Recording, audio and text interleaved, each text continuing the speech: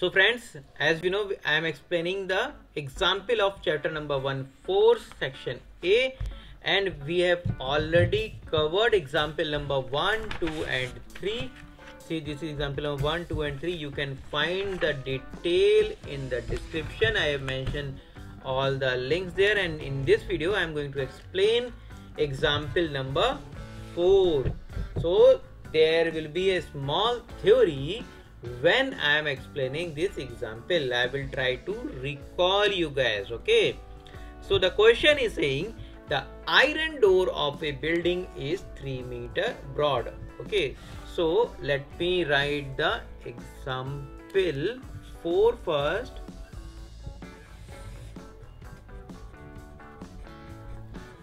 Example 4. Okay.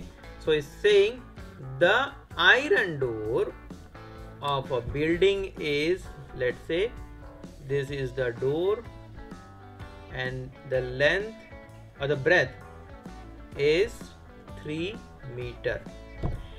It can be opened by applying a 100 newton okay?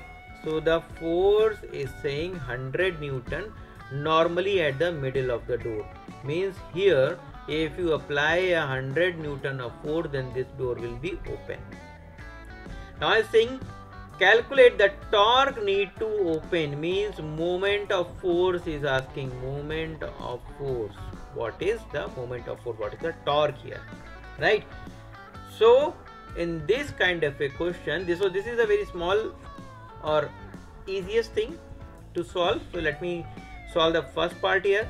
So as I said force is uh, Newton and distance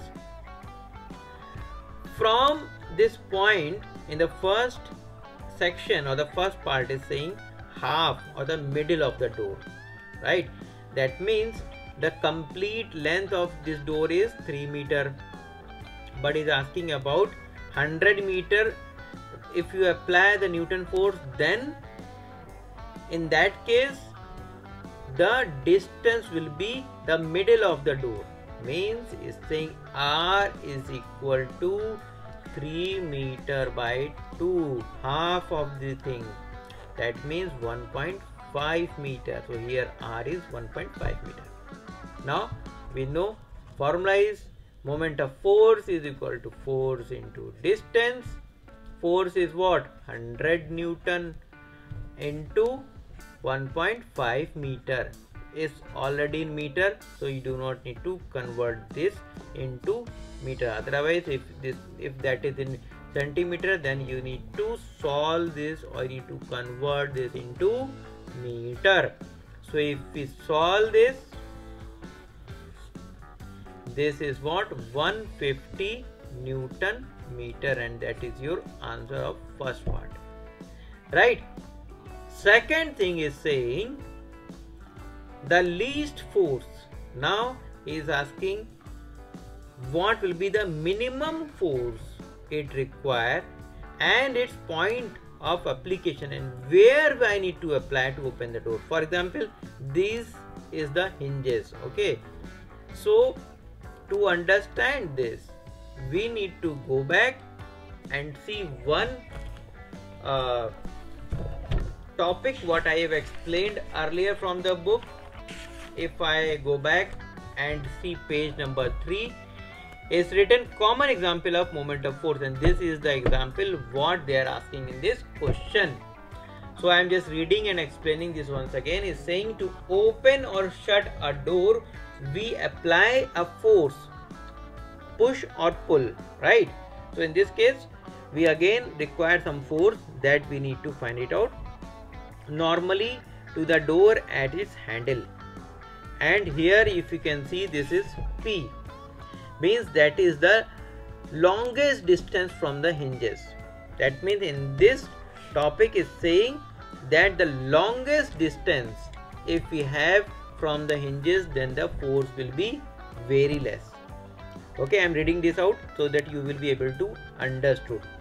So is saying which is provided at the maximum distance from the hinges as shown in this figure. Now we can notice that if we apply the force at point Q which is near to the hinges R much greater force is required to open the door. I mean the you are if you are nearer to that hinges then the force will be very high. And further he is saying you will not be able to open the door. Whatever the large force may be you require to open but you will not open the door if your force is about or near to the hinges. Right? Because for the force at r that is near hinges torque will be zero. And that's the reason the handle is provided near the free end of the door so that a smallest or the smaller force at large perpendicular distance from the hinges produce the moment of force and that is required to open or shut the door. So this is the reason what it is mentioning in this example. So the least force least force means your force will be the longest distance from the hinges so the longest distance will be the maximum length of this uh, door which is 3 meter. So in this case our distance will be 3 meter. Okay? So that's why it's written the force required will be least if it's applied at the farthest point from the hinges and therefore the force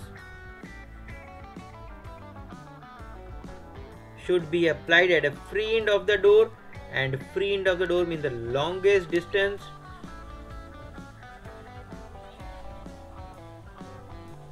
And that is 3 meter from the hinges. Okay? So this is the 3 meter.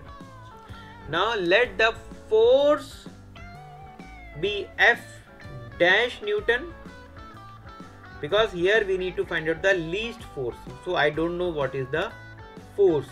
Okay. And we already know from equation number 1 suppose this is equation number 1 that moment of force is what? 150 newton meter. We already know the distance this is what? 3 meter. That's it. Now we can solve it. So the formula is moment of force is equal to force into distance.